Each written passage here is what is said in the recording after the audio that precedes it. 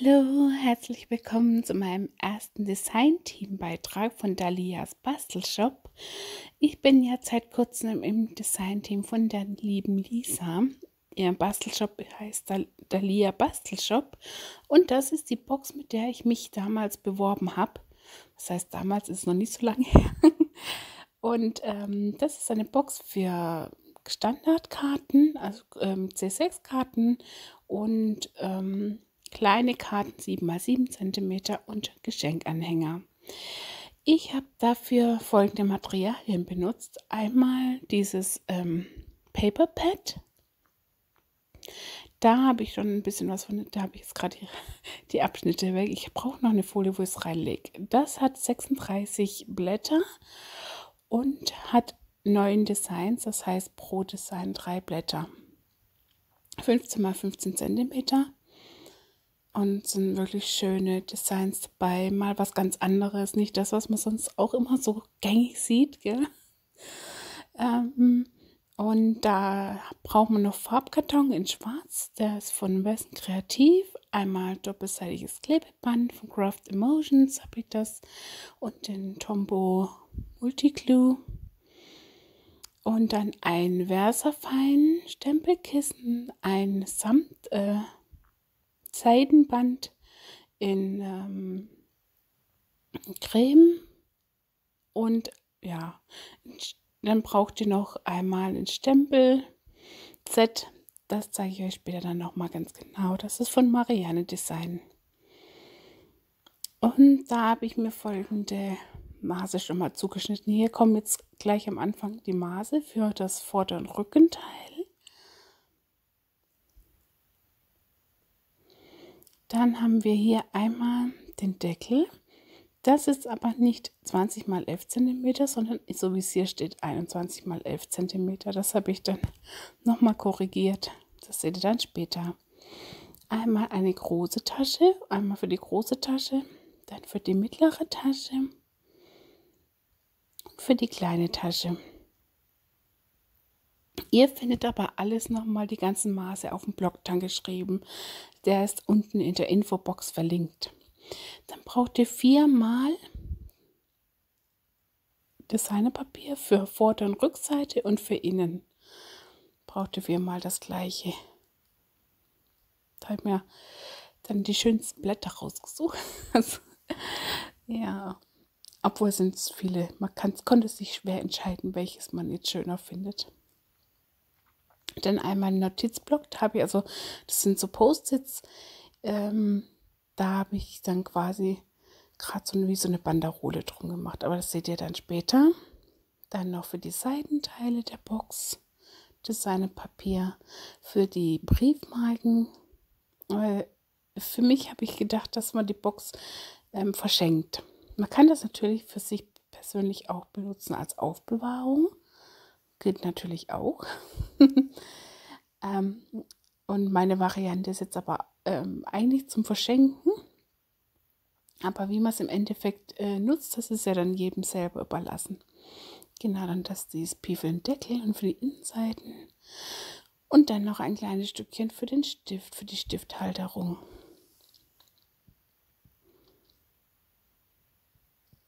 Wir fangen an mit der Vorder- und Rückseite. Die Vorderseite schneiden wir uns rechts und links die Vierecke raus. Dort schaut ihr darauf, dass ihr die ähm, Falzlinien mitschneidet, also dass die, dass die rausgeschnitten sind. Quasi gerade Schnitte. So. Und dann einmal die Rückseite. Ähm, wenn ihr das genauso gefallen habt, wie es äh, dran steht und ähm, wie es dann auch, die Maße angegeben seid, dann habt ihr an diesen Ecken ja diese einmal 2 cm und einmal 3 cm breiten ähm, Falzlinien. Das seht ihr jetzt gleich auch hier beim Falzen nochmal. Das habe ich ähm, hat einen bestimmten Grund. Das seht ihr dann nachher aber gleich. Und dann falte ich mir einmal alles schön durch. So. Und zwar machen wir uns jetzt doppelseitiges Klebepapier auf die 2 cm Seitenteile, rechts und links, bündig an die Kante. Und zwar ähm, ist das Papier ja 5 cm breit, aber wir brauchen für den Innenteil, das kommt dann nach innen, das ist später bei der Box, brauchen wir nur 3 cm. Das heißt, ähm, ich klappe mir das einfach um, dadurch wird es automatisch stabiler. Aber der Farbkarton von West Kreativ ist super. Also ich bin echt begeistert und auch sehr überrascht. Also er hat ja die Grammatur von 216 und ähm, so standardmäßig, ich habe ja meistens bei Farbkarton ähm, 240 Gramm. Und aber der ist, super, also lässt sich super falzen. Ich habe noch kein einziges Mal, dass mir das Papier gebrochen ist oder irgendwie. Also ich bin echt begeistert. Kann ich wirklich nur wärmstens empfehlen. So, dann seht ihr das auch. Genau, die kurzen Zeilen kommen noch in. Jetzt haben wir den Deckel eingeschnitten. Da ist mir die Kamera leider ausgegangen, ohne dass ich es gemerkt habe rechtzeitig. Ich habe quasi nur an den Seiten die Laschen eingeschnitten, so wie ihr das hier seht, und dann das passende DSP draufgeklebt. Beim Deckel habe ich ganz am Anfang das Oberteil vergessen. Das steht hier unten auf dem Zettel, wie ihr seht, 14,5 mal 4,5 cm. Schneidet ihr euch dann noch dazu.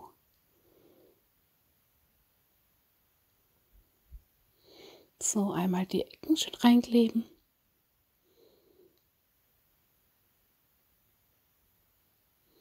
Und der Tumbo zieht halt auch super schnell an, gell? Das rucki zucki ist es festgeklebt. Das Einzige, wo man aufpassen muss beim Tumbo, ist, dass man nicht drüber kleckert.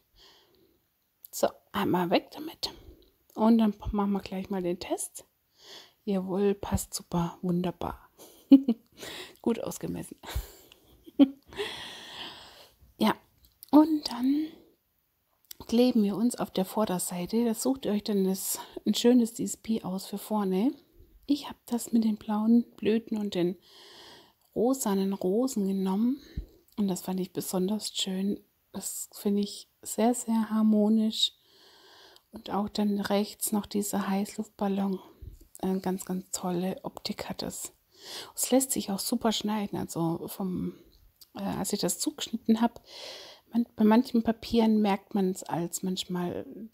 Da habe ich mich vermessen. Ich habe es vergessen zu kürzen. Ähm, der Block hat ja 15 cm.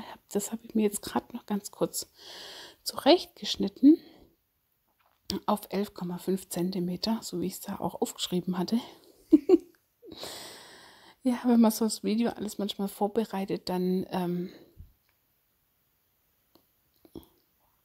man so viele Maße im Kopf und dann geht doch wieder was schief. Aber war ja kein Problem, konnte ja gut retten. ja, also ich bin ganz in Lauf mit dem Papier. Da werde ich mir bestimmt auch noch Nachschub holen. So. Studioleiter hat ja allgemein wirklich schöne Papiere, muss man sagen. Also ich habe da schon öfters mal einen Block gekauft von denen. Gerade auch die Winter Editions sind auch wunderschön. Könnt ihr euch bestimmt freuen auf die Weihnachtszeit. Da kommen bestimmt schöne Papier, Papiere in den Shop. So, und dann einmal hinten drauf. Auch ein schönes. Da habe ich mir das, was so ein bisschen Jude-Optik hat und mit auch mit so einem Heißluftballon. Passt dann wieder zur Vorderseite. Man könnte natürlich auch ringsrum das gleiche DSP machen, aber ich wollte, dass das ähm, nur vorne dieses prägnante Papier, also das ist wunderschöne Papier. Dann haben wir einmal hier eine Holzoptik und hinten drauf auch nochmal Holz in dunkel. Und wie ihr ja wisst, die mich verfolgen auf meinem Kanal, ähm, die wissen auch, dass ich ja Holzpapier liebe. Holzpapier kann eigentlich bei mir an jedes Projekt irgendwie drauf. ja, dann nehmen wir uns die große Tasche. Da schneiden wir uns rechts und links einfach kurz die kleinen Klebe ähm, Falzen, so Klebelaschen, schneiden wir uns da raus und dann falzen wir alles schön nach.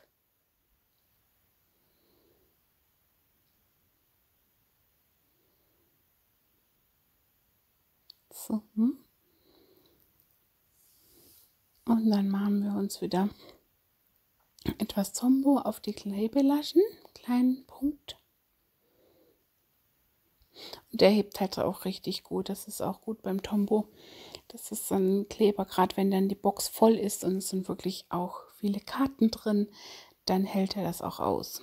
Also den könnt ihr gut für Verpackungen und Schachteln und sowas hernehmen. So, und dann machen wir ringsrum einmal Kleber drauf. Und dann setzen wir uns das bündig mit der Lasche an. Genau. Äh, ein bisschen warten, bis der Tombo dann auch richtig anzieht, ähm, damit das jetzt nicht gleich auf der, auf der Seite wieder abfällt, wenn da ein bisschen Zug drauf ist. Ein bisschen andrücken, dass der anziehen kann. Aber wie gesagt, der Tombo, der trocknet relativ schnell auch. Also da muss man, kann man eigentlich zügig arbeiten. Das ist dann schon praktisch. Ja, hier mache ich nochmal was drauf, weil man doch dann ein bisschen das schon angetrocknet war. Und dann setze ich mir das so auf und gucke, dass es am Boden dann rechts und links ähm, bündig anliegt, dass wir eine gerade Sache haben hier. Einmal mit dem Falzbein festdrücken und Fertig ist die erste Tasche. In die Tasche passen bis zu sechs ähm, Karten rein. Es kommt natürlich darauf an, wie üppig man diese Karten macht. Also es geht davon aus, von flachen Karten. Jetzt nehmen wir hier einmal die mittlere Tasche. Da schneiden wir uns die, bei der ersten Falzlinie ein bis zur, zur zweiten Falzlinie hoch. Dass wir quasi, so wie sie rechts ist, dass wir dann so eine Lasche rausschneiden können.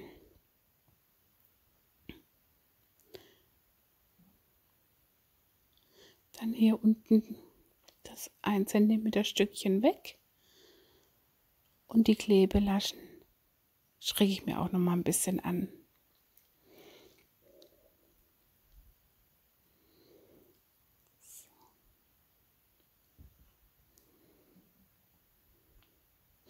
Ihr seht es auch gleich nochmal bei der anderen Tasche.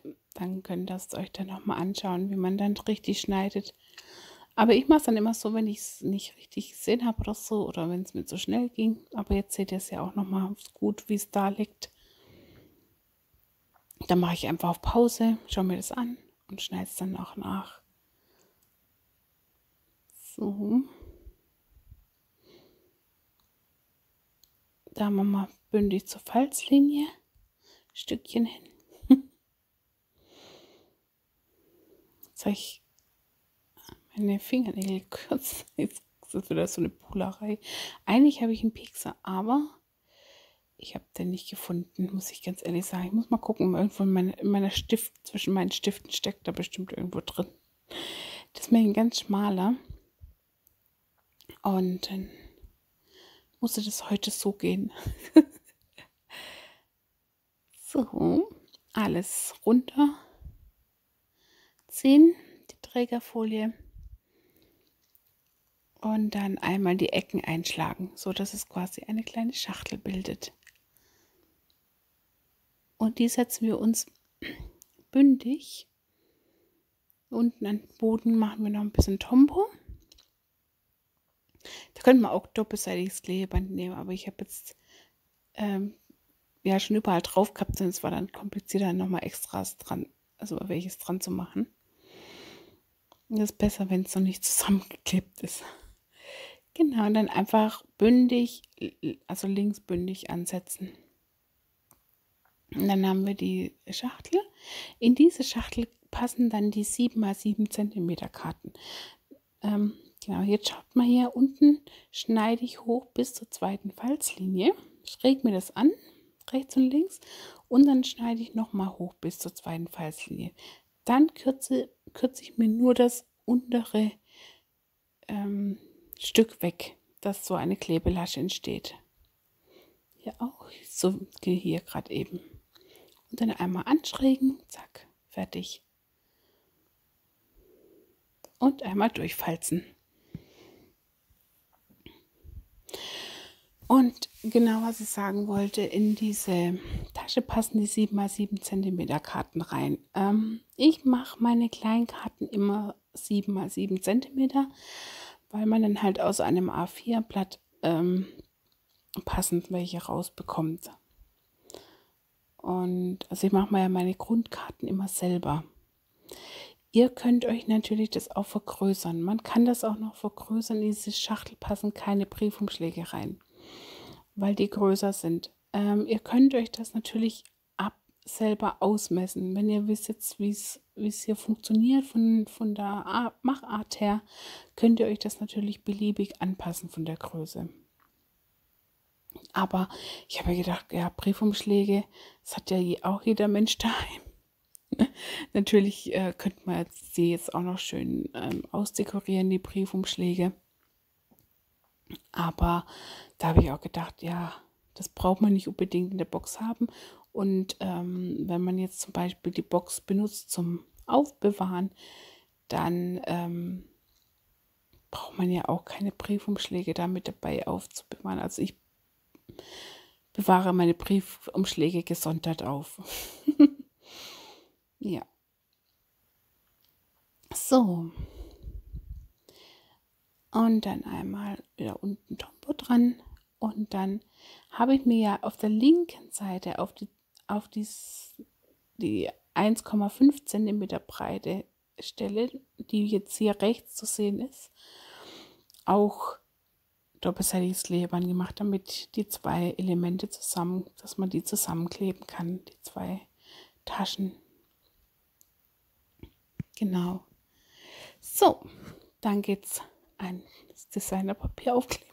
Das war meine Lieblingstätigkeit bei dem, bei dem, bei der Schachtel, weil das so schön ist. Oh, ich, mag das, wenn man das Designerpapier aufklebt und es dann so schön wird.